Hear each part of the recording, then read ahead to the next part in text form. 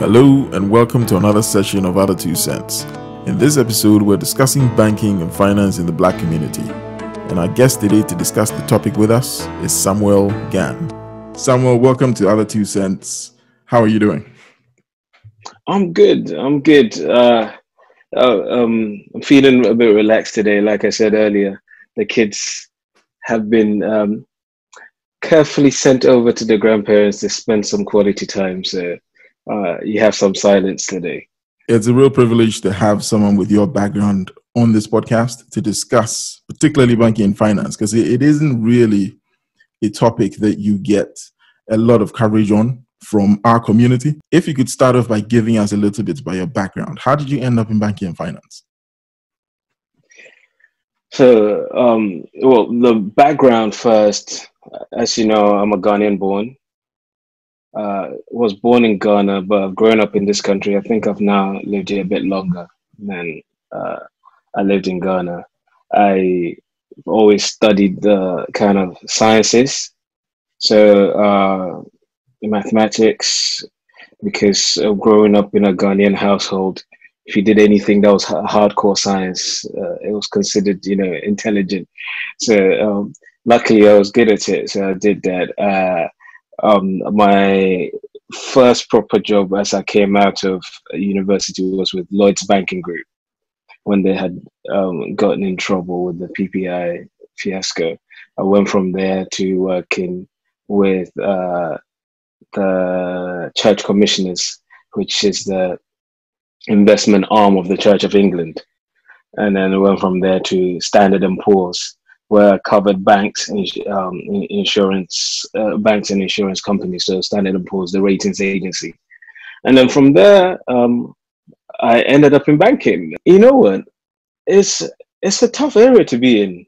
It's a it's a tough area to be in, simply because less for the the mental aptitude needed or the intellectual aptitude needed. It's more the politics in that area. It's quite it's a contrast to what you learn at home and learn in other parts of society. Banking is very much about the numbers, and that's across the board.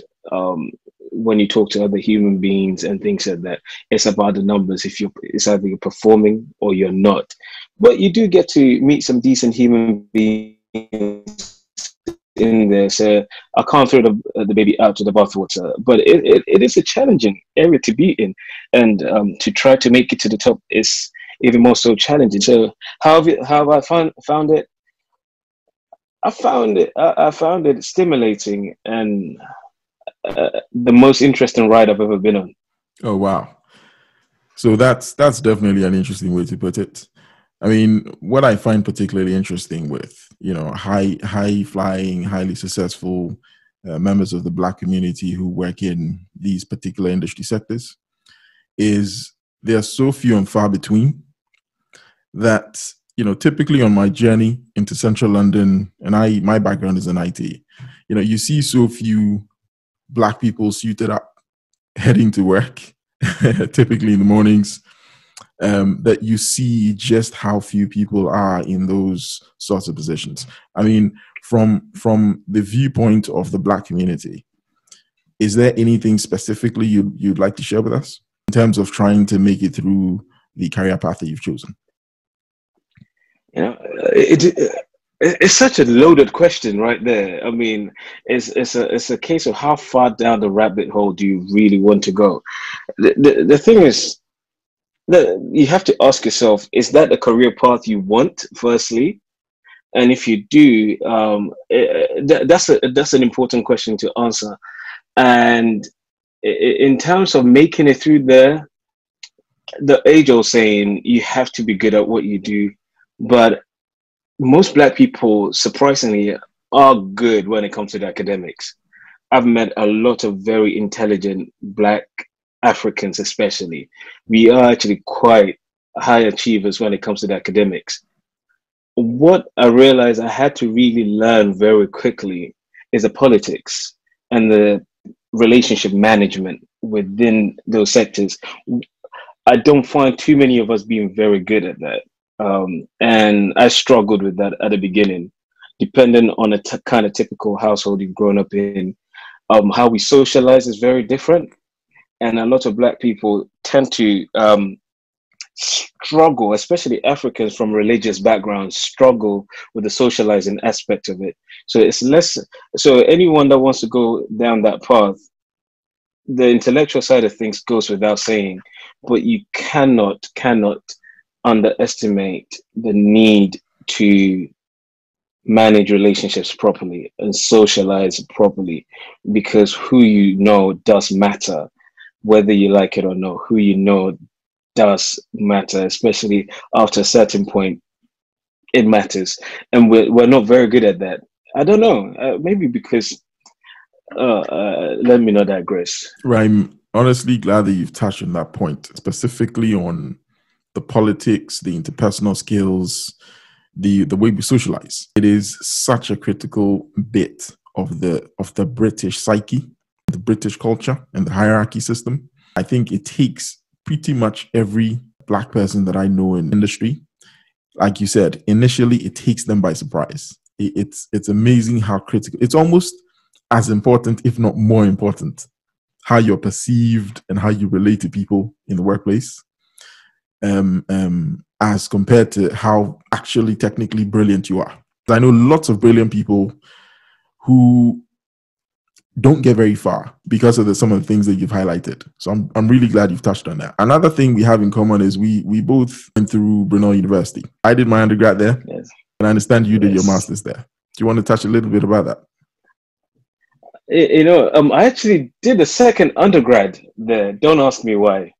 Don't ask me why. My my master's level um, degree. Well, I did a professional qualification. I did that at Cambridge and again, that that's another whole conversation.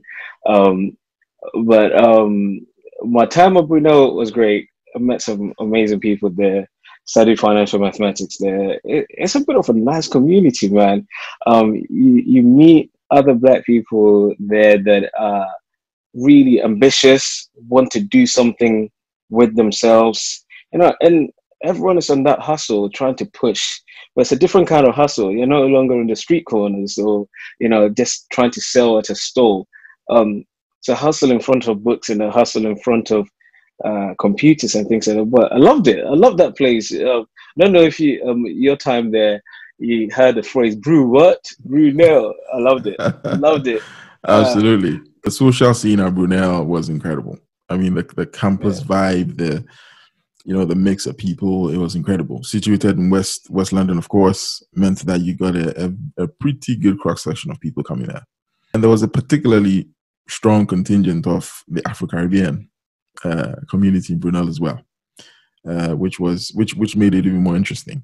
Now coming back a little bit to the to the uh, banking and finance uh, topic of discussion you had some ventures in in trying to work with a, a, group of guys to set up a bank. Tell us a little bit about that yeah, so banking, um, I think, is very often underestimated, and a lot of people don't understand why banking has remained the backbone of uh, a lot of economies for so long.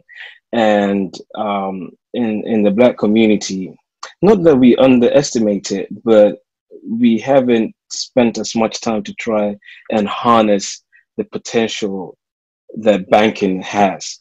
So uh, I got into it um, because I used to meet with a group of um, predominantly young black um, people within London. Those some were in business, some were working, trying to work their way up, and the whole point was to network and try to see if we can help each other uh, move up the career ladder or um, find funding for different ventures that we were involved in. And I would typically find someone who was an expert in a particular field to come and do a masterclass. I don't know, any particular area that was um, of interest to the rest of the group. We would find someone who's a specialist in that area to come do a bit of a masterclass on there and get um, get questions from the group. As you know, knowledge is absolutely power. And if you're well equipped with information there's a there's a lot that you can achieve. So we used to do that. And what kept coming up was the lack of financing, or and even when it came to mortgages and trying to get on the um, property ladder, especially in London. In London, um, I knew a lot of people with great jobs, and when they were by themselves, it was okay. And then they got married. They met the man or woman of their lives and they decided to get married. And the dynam- dynamics change very rapidly. As soon as you have a child or you want to get a proper home you realize how very little your money can do. Because even if you had a good income trying to get the, that deposit for um, for a down payment for a house was now impossible in london. And people were having to move out of London to, but still working in London. So the some of them were ridiculous. I know I knew one guy who was living in Birmingham, working in London. So his wow. round trip every day was about four hours. He, if he was lucky, he got back in time to say goodnight to his um, baby girl and his daughter before um, they would go to sleep. So it's ridiculous that you live in London, adding to the London economy, but couldn't afford to live there. So yeah. I decided to explore different ideas of can we can we combat this?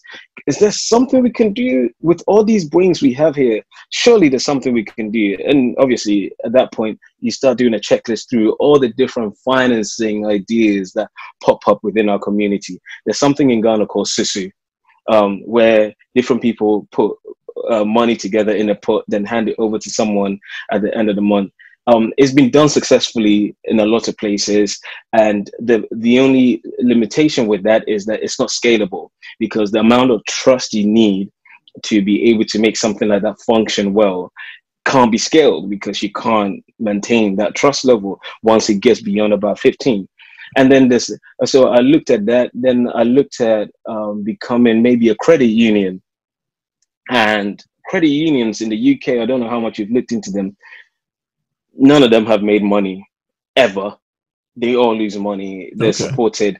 Why, uh, but that's interesting. Why, why do you think that is? Why, why are they all losing money?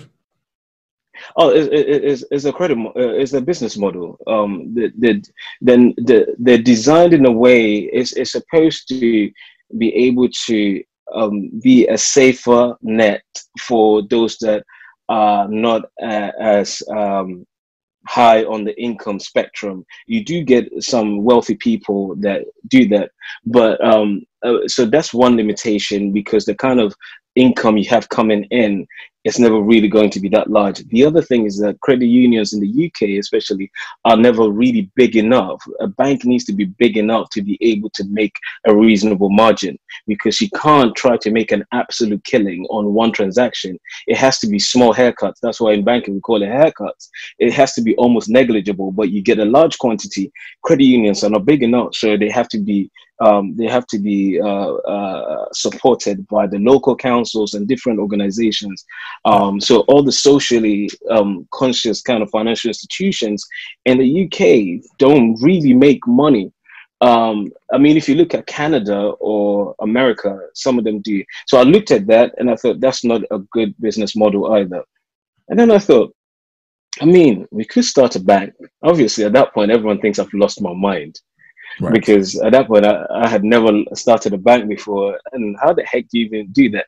But the the eureka moment for me is that the recourse recourse um having that security there um, to be able to look at the regulator to ensure that your money was safe rather than putting your trust in a single person. You do need to trust the people managing it. The, the, they need to have the ABCs of banking, as they say.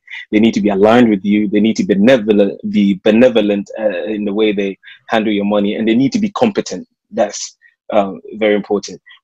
But you need to know that should something go completely wrong, you had recourse and I looked at it and I thought the only structure that has that is a bank.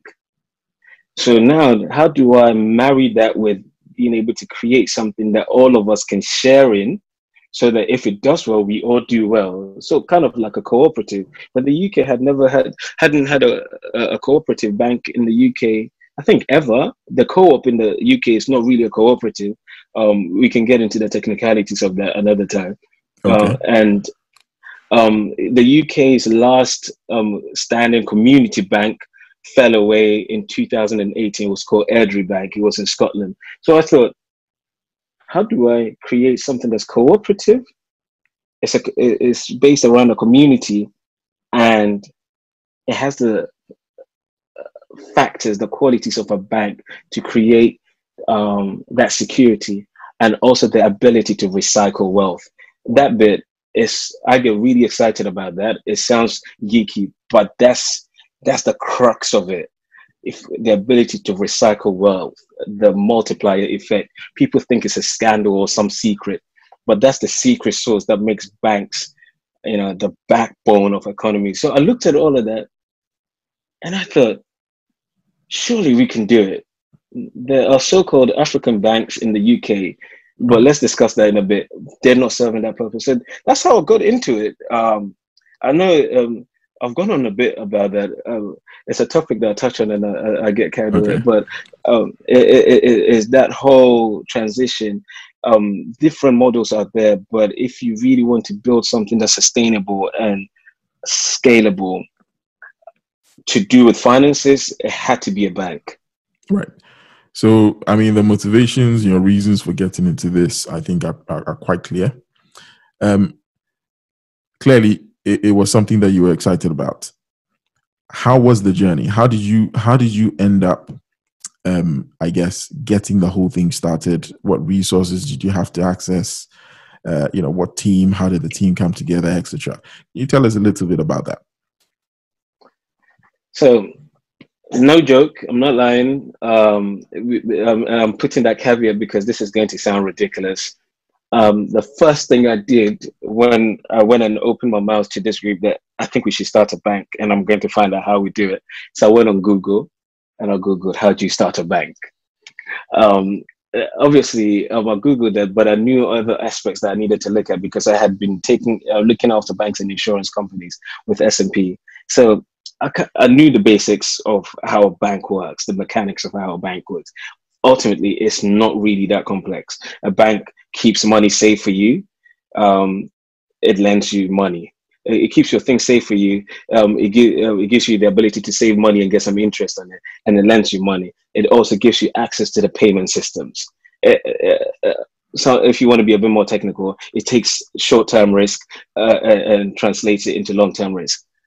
So okay. it's not that complicated. So um, I started from there and I started looking at it and I started googling, and I, um, I made a list of different people that I came across that had some experience in that area. I think I came up with a list of about fifty people that I wanted to contact to find out how on earth do I start a bank when, especially when I don't have my own capital. Right. You, you, just don't do that if you don't have your own capital. So I, it wasn't a wing and a prayer. I had gone and said to people, I'm going to look into this. So when I got that list of people, I took some time off work. I spent two days cold calling people. I cold called people, and something strange happened as I called people. I called people, and my my pitch was literally, look, um, this, um, for this A B C D reasons, um, I want to start a bank. My background, um, uh, roughly speaking, is this. I'm fairly confident that I can build a model for this. But what else do I need to do? And the responses were, really? That's interesting. So um, people didn't tell me I was crazy. I, I, expected them to tell me I was crazy, but everyone said, that's interesting. I can't help you, but I know someone that can help you. So people kept referring other people. So I ended up getting a good mix of black and white people that were supposedly experts in this field. And then something really strange happened after that most of the black people I spoke to fell into a few camps. So if we do this, how am I going to make money quickly? I said, you're not going to make money quickly. Um, this is something that's a long-term view, and let's let's be brutally honest. Um, you might be you might be able to make a good amount of money, but you won't see any solid money until maybe after 10 years and your children will probably end up being the ones okay. that benefit from this the most right. that wasn't good news for most of uh, uh, i thought that was exciting to tell people but most black um, most black professionals that uh, were in, at the top of their game that I spoke to. You. It was heartbreaking, really. Um, the the the general sense was, oh, I mean, if I'm gonna have to wait to ten years, I can't waste my time on that. Right. So let me let me let me press you on this. I mean, you you've laid, I think, the foundations of how this thing got off the ground. You know how you you got the green shoots in the first place. But in as as brief an explanation as you can, how did you transition from that to getting to the point where the bank was actually established? Um, you know, how, how long did it take? What what regulatory uh, hoops did you have to jump through?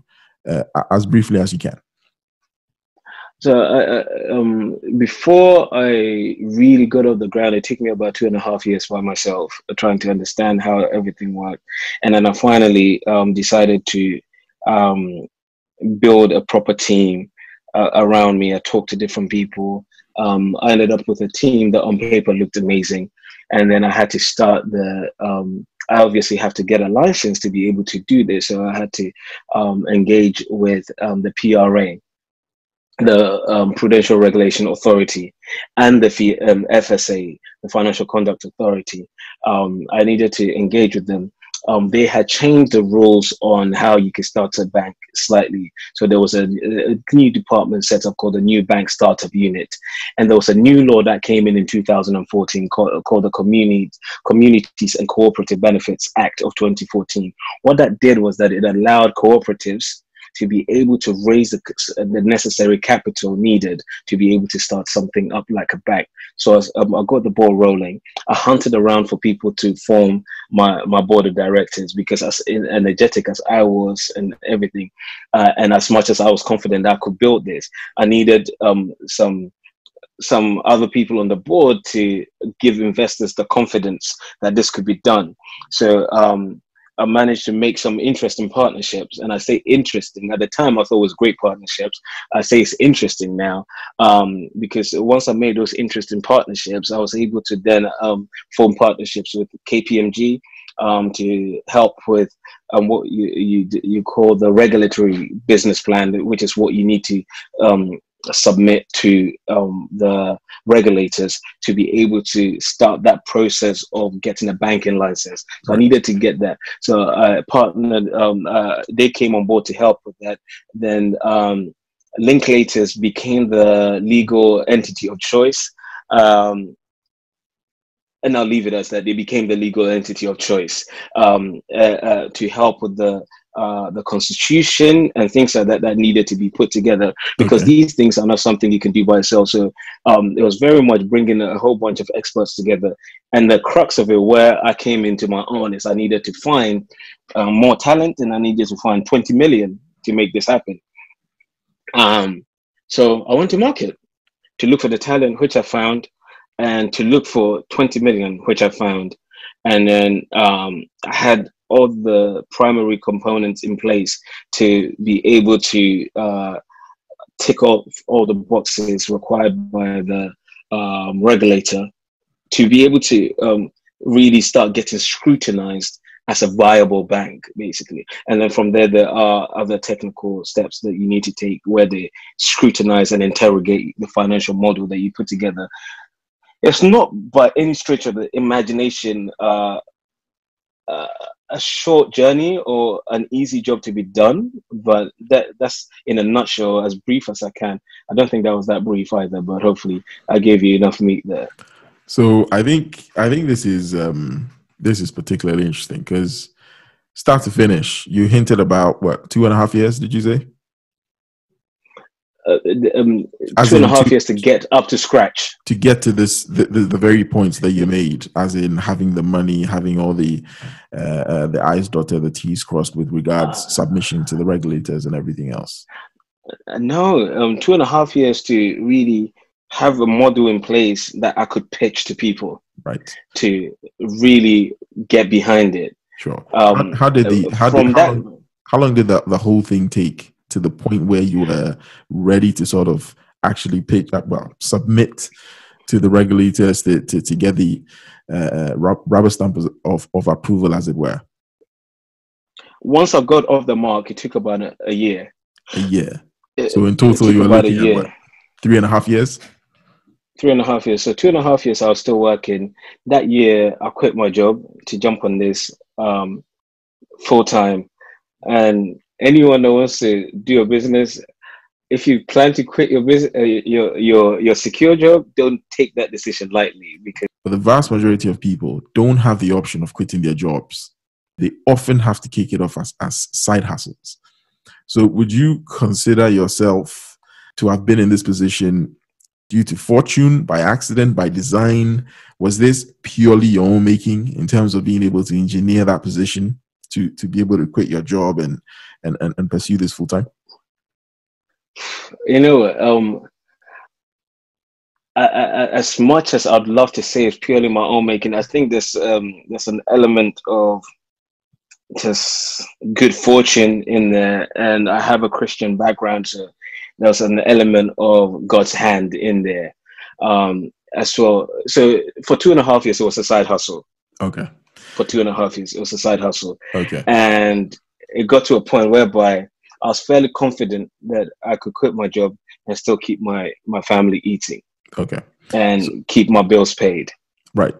So I think it was important to touch on that because it's worth people knowing that you did all this right as a side hustle initially and if nothing else to encourage those who are listening that are thinking you know i have to do all this you know after 9 to 5 and try and burn through all the work that i need to do to establish what i need to do it's important that people realize that you got to these heights by having to treat it as a side hustle. Um, now it, it's pretty clear that by this point things were looking quite good. Things were on the up. How did things start to change? How how did it get to the position where things didn't quite turn out the way you expected, or you know, how did you start to detect things weren't quite on the trajectory that you had you had anticipated? So the money made all the difference. The money started to change the mood. So at the beginning, um, to pay my team and pay myself, I think I raised in total about two hundred and twenty thousand k um, to kind of help me build a team and make sure everything kept on ticking. And then um, the 20 million, as we got the letters of intent passing through and the and the contract um, being um, edited and coming back and got the due diligence done and we had their uh, firms look the investors firms look at the proposal they come it's exciting i mean you're on an absolute high because it's the steepest learning curve ever. Um, I don't care how intelligent you think you are. There's so much you realize you don't know, and my brain is buzzing all the time. I'm dealing with terms and conditions that I've never had to look at before. Contracts with detail designed to trick and screw you over, and it's exciting we're getting this back. The due diligence, you know, we have I'm fending off questions left, right, and center, and then we get to 15 million, and then we're stuck for a bit. Well, I'm stuck for a bit because I can't find the extra five million because one of the key investors has dropped out. So I find um, another two investors who don't decide to come in at my minimum of five million. One of them comes in at three, the other one comes in at two, and then I have 21 million.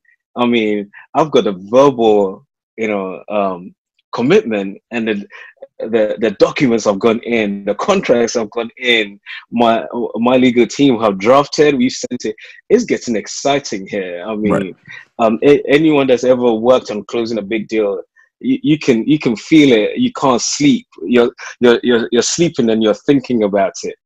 And then the final um the final meeting comes where I shake hands and uh, representative of this particular institution uh, um, shakes my hand and says, "Yes, we're happy to come in at three million.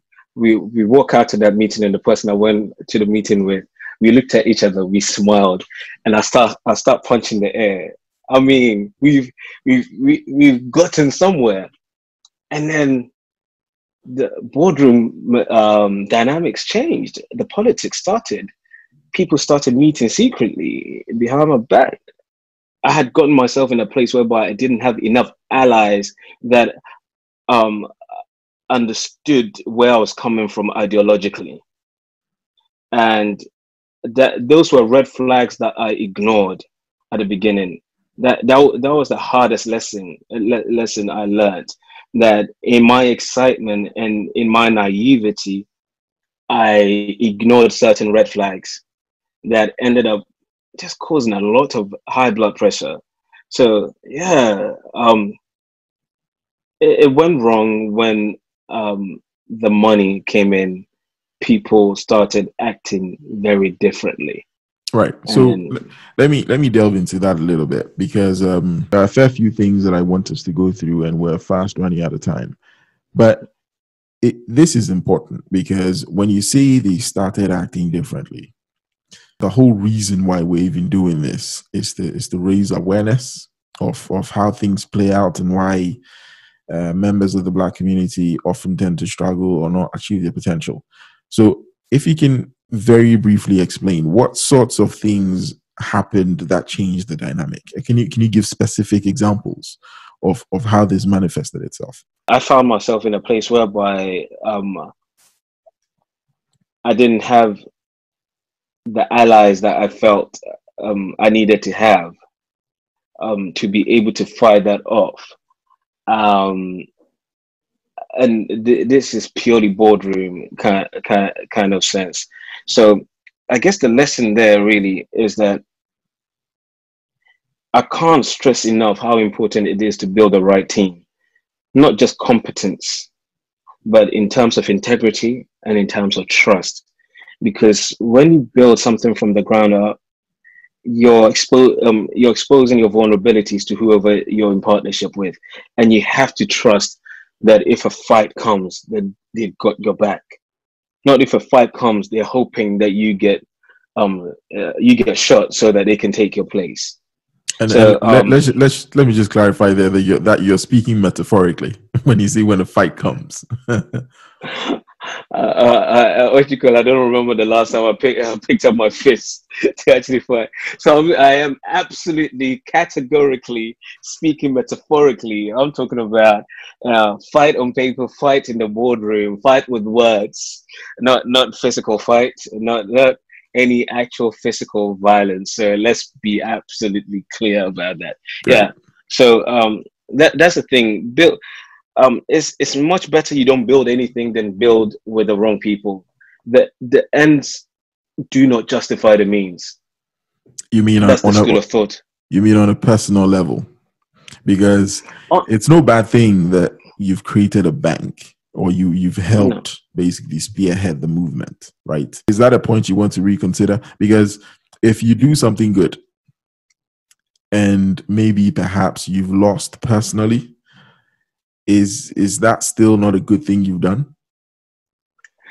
Um, I t- this is the view I take to uh, um, take of life that um, a, a, lot of people have different um, big philosophies about life, and and, and and in my life, I try to be as happy as I can, and I try to make as many people around me as happy as possible. So nothing is really that deep, and no vision, no purpose is really that deep that you lose yourself. It's really not that deep. Life is too short.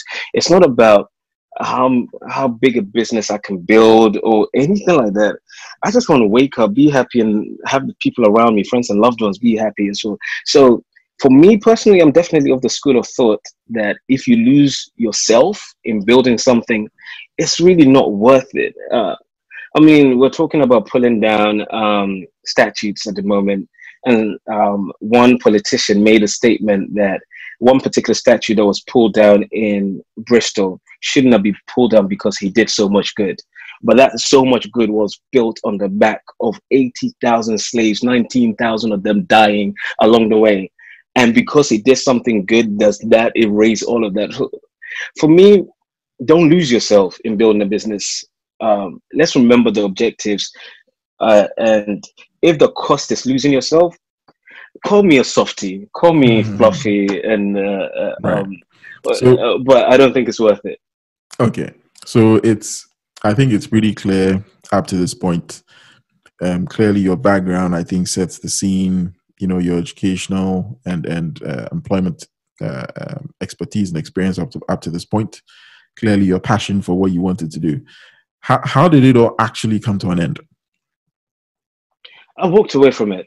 Um, I, I, walked away from it. It had become such a toxic environment.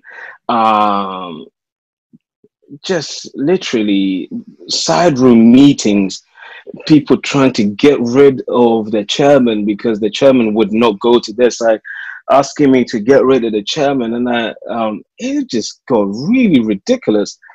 And my wife had been so gracious. She she had put up with me um, working till 11 p.m. Sometimes I get home and I'm on the computer till 1 a.m. and we're supposed to go on date night. And please, babe, you understand. And she was so gracious. So we finally decided to take some time off and go to Ghana. And I asked the board, um, please, please, please, even if someone is dying, don't contact me because I'm not good. I can't save them.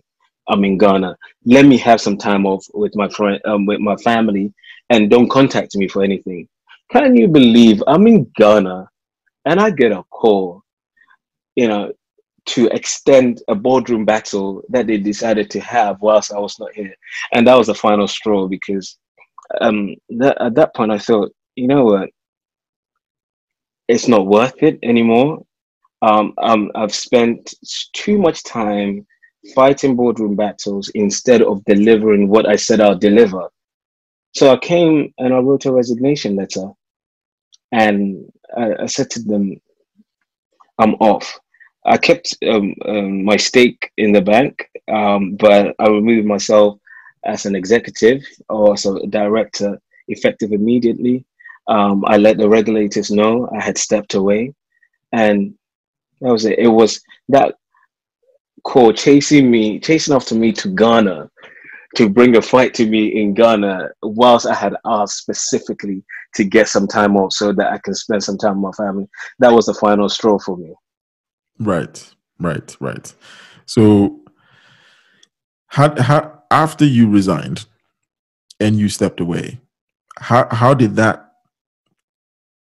What what impact did that have on your personal life? How how did that affect your outlook, you know, your standing, what what you you had decided or, or, or were deciding to do next? The one I, I decided to step down for the first time in a long time, I sat in the living room and I played pointless games with my son. And I watched movies. I binge watched um, Netflix. Um, I watch random movies with my wife. I tried to catch up with the date nights that I had missed. Order some takeaway that put extra um, uh, mass on my waistline. In a, it, it, it was the most relaxed I had been for a long time, and um, it gave me a really different perspective on on on life. Um, I, I I was relaxed. I was relaxed for a very long time. So I hit out just away from anything for a while. For at least a year, I hit that, and it was nice. It, it, it was lovely, my friend. It was lovely. That's good to hear.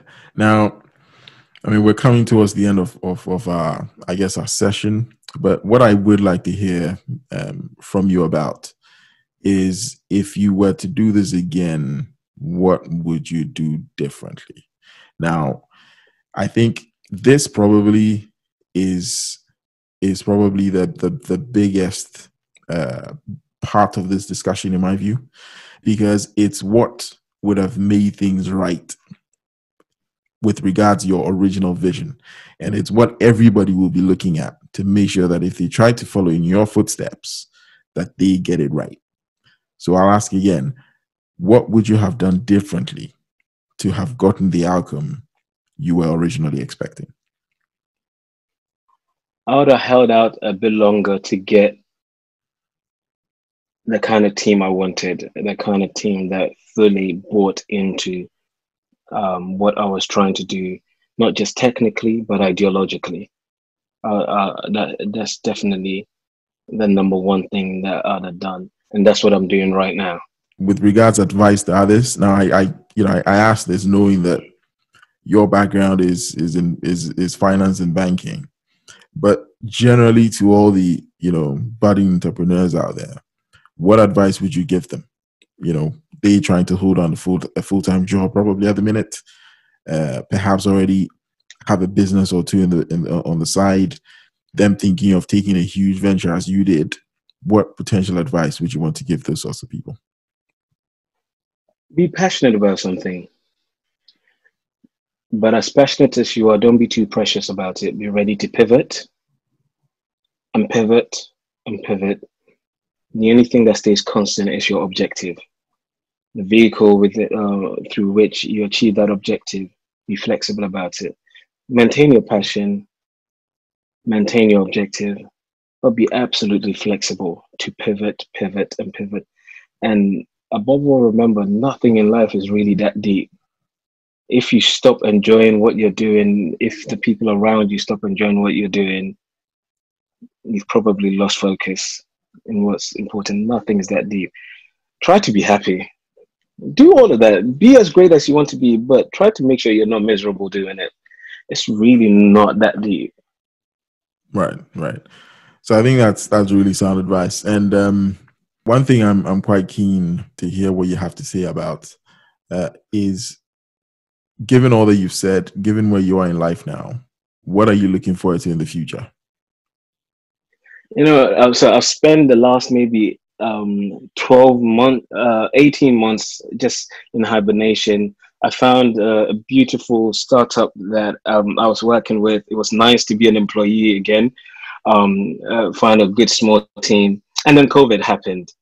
But it, um, once, I, once I hit out, um, once you develop this habit of working on the side. You never lose it. So i had already started redesigning what i wanted to look like in the future. I just wanted to stay underground for a bit redesign it take a different approach build a new team. And then covid happened so i stepped up my efforts. Um, so right now um, i've been seeing a lot of questions being asked about is there are there any black banks in the uk for example? And i know people have cited FN, uh, FNB, First National Bank Nigeria, GHIB, Union Bank, Guarantee Bank, and things like that. And I, I, think they are banks to be celebrated, but it's also very important. Um, we remember one thing: they've been in existence since um, some of them since 1983, and the youngest one maybe since 2007. And we were still asking the question, are there any black banks? And that should tell people something. There are no banks designed for the average black person. You know, um, there are banks that tell us they're well off black people out there, Africans out there. And that's nothing to knock. That's something to celebrate. But there still remains a, um, space for something that is designed for not just the wealthy, but the, also the average black person, something designed to proactively invest and lend to black businesses and something designed to proactively recycle wealth within the black community. And um, yeah um, that's something i've been working on talking to different people. And this time i'm feeling a lot better about the team i've got. And covid has meant i'm having to bring things to market a bit quicker than I expected. But I'm feeling excited again, and I'm approaching that stage again where I go full time on another venture. Yeah, I, I, I know I don't learn, right? I don't I didn't learn from the first time, so I'm definitely looking forward to that. Wow, that's an amazing story. I think it's one that our viewers will be very happy to to to to hear, to listen, to learn from. Uh, Samuel Gan, thank you very much for your time. Uh, and as soon as we have uh, any further topics that we want to discuss here on uh, Other Two Cents, we'll be sure to get in touch with you. Now, before we sign off, are you happy for us to uh, share your details out there so that people can get in touch if they want to learn more? Yeah, definitely. Um, people can get in touch with me. I think um, email or maybe LinkedIn. You can find me on LinkedIn. I'm not that active on Twitter, but um, I'm having to become a bit more active. Um, uh, Samuel Gan, I think, on Twitter as well. Uh, I will double check and let you know what my Twitter handle is. But my name on LinkedIn is Samuel Gan. Um, Facebook is hopeless. Don't don't get in touch with me on Facebook. Instagram is also pointless. Um, so Twitter and maybe LinkedIn. And the the the, the last thing um, I'd like to put out there is that for every um, venture out there that's looking to collect money together to invest and um, hold people's money anyone that's looking for that bank for black people, please, please, please get in touch with me, especially if you've got something going already. Um, please get in, in touch with me. Um, I'm, I'm really interested to speak to people like that. And soon there will be something for the general public to get involved in. So please keep an eye out for that. That's a great final message and a great note on which to sign off. So, Samuel Gan, thank you very much. Fantastic. My pleasure. Thank you for having me.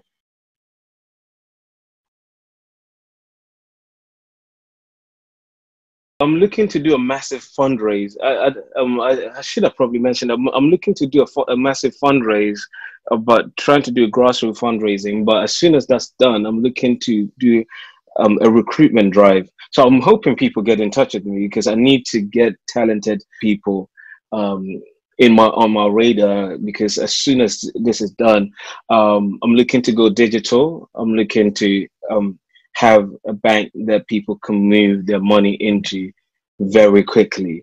Um, so I will need to recruit talented people.